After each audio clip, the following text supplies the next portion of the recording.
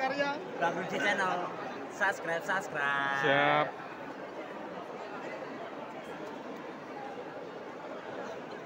Halo Assalamualaikum, selamat datang di channel Bang Rudi, channel yang memuat aneka konten dan random konten, semoga kita selalu diberi kesehatan, kelapangan rizki dan keberkahan umur, dukung terus dengan like, share dan subscribe Bang Rudi channel ya.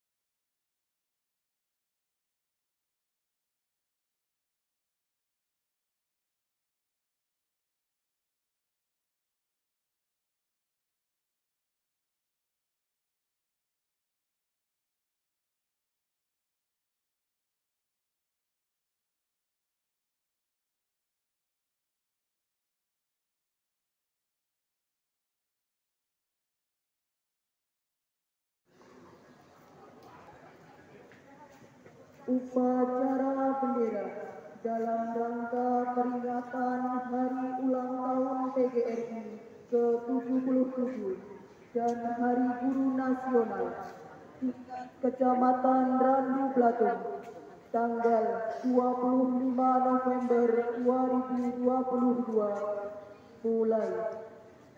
Masing-masing pemimpin barisan menyiapkan barisannya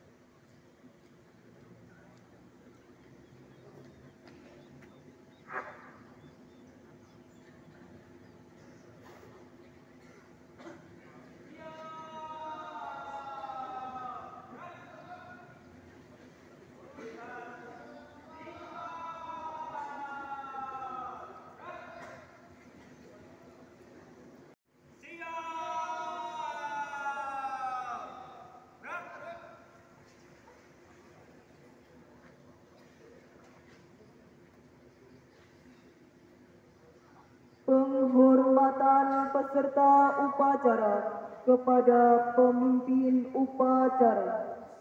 kepada pemimpin upacara. Hormat! Gerak! Tegak! Gerak!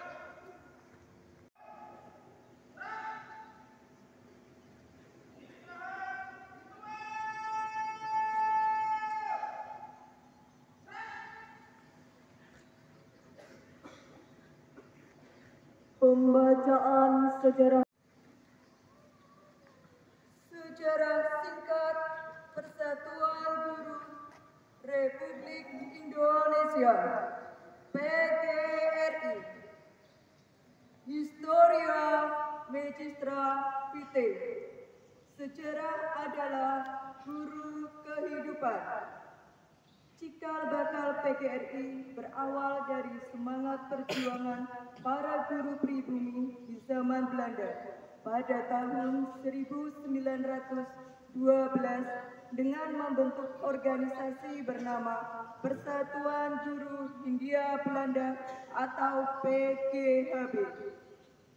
Organisasi ini bersifat unitaristik yang anggotanya terdiri dari para guru bantu, guru desa, kepala sekolah, dan penilik sekolah.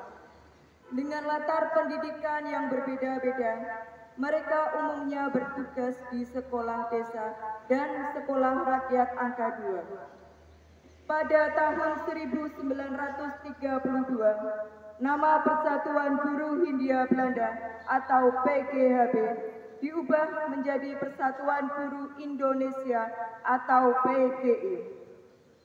Perubahan nama ini mengejutkan pemerintah Belanda karena kata Indonesia yang mencerminkan semangat kebangsaan sangat tidak disenangi oleh Belanda. Sebaliknya, kata Indonesia ini sangat didambakan oleh guru dan bangsa Indonesia. Pada zaman pendudukan Jepang, segala organisasi dilarang, sekolah ditutup, Persatuan Guru Indonesia atau PGI tidak dapat lagi melakukan aktivitas. Di dalam kongres inilah pada tanggal 25 November 1945, 100 hari setelah proklamasi kemerdekaan Republik Indonesia, Persatuan Guru Republik Indonesia atau PGRI didirikan dengan tiga tujuan, yaitu satu, mempertahankan dan menyempurnakan Republik Indonesia. Dua, mempertinggi tingkat pendidikan dan pengajaran sesuai dengan dasar-dasar kerakyatan. Tiga, membela hak dan nasib buruh umumnya, guru pada khususnya.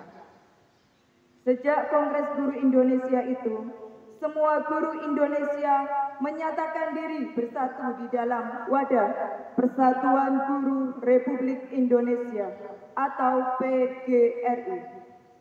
Kelahiran PGRI sebagai tuntutan sejarah melalui proses yang panjang dan lahir tepat saat rakyat Indonesia berjuang menegakkan dan mempertahankan kemerdekaan. Sumbangsih kaum guru tertulis dalam sejarah turut mempertahankan dan mengisi kemerdekaan. Karena itu, jangan sekali-kali meninggalkan sejarah jas merah. Selain itu, PGRI terus berkomitmen dalam memperjuangkan nasib para guru dan tenaga kependidikan honorer di bawah Kemendikbudristek dan Kemenak.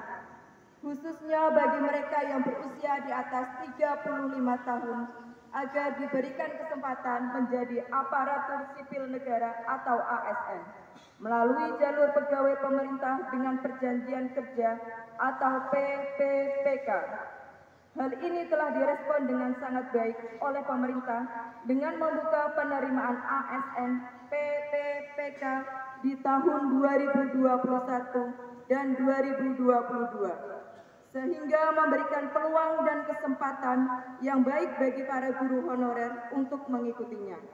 Meskipun dalam sistem pelaksanaannya masih memerlukan perbaikan terus-menerus.